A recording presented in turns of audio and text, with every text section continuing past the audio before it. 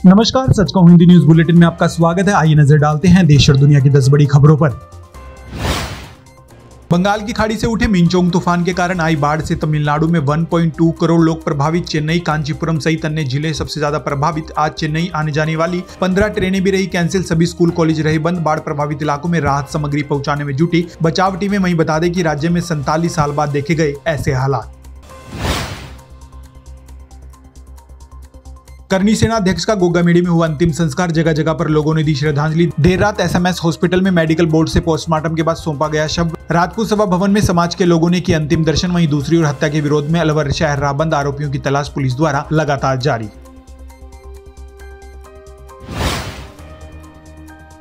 दिल्ली में आयोजित हुई बीजेपी संसदीय दल की बैठक, देश के प्रधानमंत्री नरेंद्र मोदी बोले, तीन राज्यों में जीत कार्यकर्ताओं की मेहनत का नतीजा। मिंजोरम, तेलंगाना में भी बड़ी ताकत, वहीं भाजपा संसदीय दल की बैठक में प्रधानमंत्री नरेंद्र मोदी का किया गया सम्मान।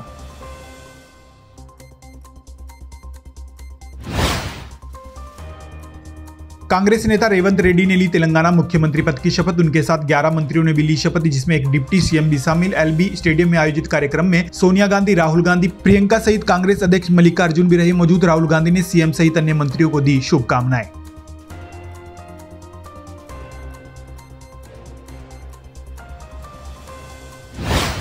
पंजाब और हरियाणा हाईकोर्ट ने पंजाब में अनलॉफुल एक्टिविटीज़ प्रिवेंशन एक्ट के तहत दिए कड़े आदेश जमानती प्रावधानों पर ध्यान देते हुए पंजाब पुलिस को इस एक्ट के दुरुपयोग की जाँच करने के लिए कहा। हत्या प्रयास के एक मामले से जुड़ी जमानत याचिका पर सुनवाई करते हुए हाईकोर्ट ने लिया यह फैसला। अदालत ने पंजाब पुलिस के डीजीपी गौरव यादव को भी अपराध पर अंकुश लगाने के दिए निर्देश।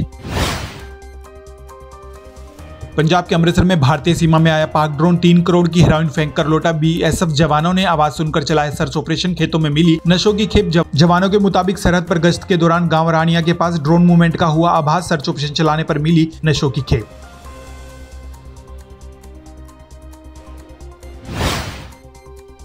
पंजाब के अमृतसर में ट्रैफ़िक पुलिस कर्मचारी सरेआम रिश्वत लेते कैमरे में कैद। सोशल मीडिया पर वीडियो हो रहा वायरल। चलान काट रहे पुलिस कर्मचारी की जेब में पैसे डालता दिखाई दे रहा युवक वीडियो सामने आने के बाद एडीजीपी ट्रैफ़िक ने इसकी जाँच के दिए आदेश।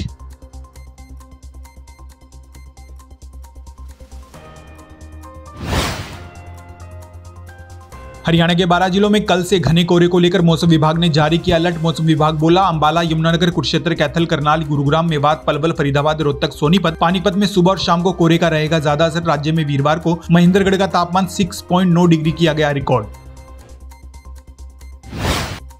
रेवाड़ी जिला के कस्बा कोसली में सड़क हादसे में दो युवकों की मौत। दोनों युवक बाइक से कोसली की तरफ़ जा रहे थे। इसी दौरान अज्ञात वाहन ने बाइक को मारी टक्कर। हादसे के बाद दोनों लहूलुहान घायल युवकों को पुलिस ने अस्पताल में करवाया भर्ती, जहाँ डॉक्टरों ने किया मृत घोषित। पुलिस के मुताबिक सन्नी और चेतन के रूप में हुई मृतकों की पहचान।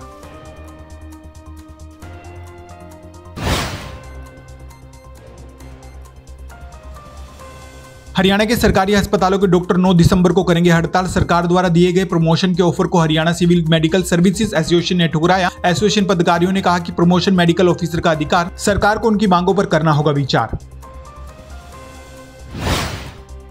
सच को न्यूज़ बुलेटिन में इतना ही। देश और दुनिया की तमाम बड़ी खबरों से जुड़े रहने के लिए देखते रहिए सच को हिंदी चैनल।